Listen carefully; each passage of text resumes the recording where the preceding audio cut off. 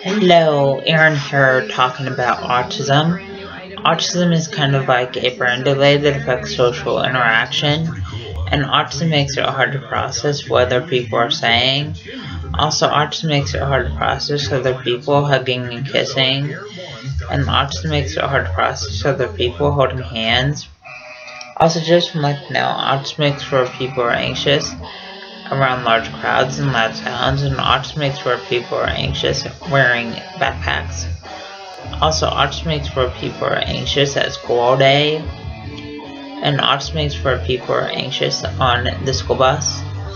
Also, autism makes where people are anxious when fire alarms go off at school, and autism makes where people are anxious when eating lunch in the school cafeteria.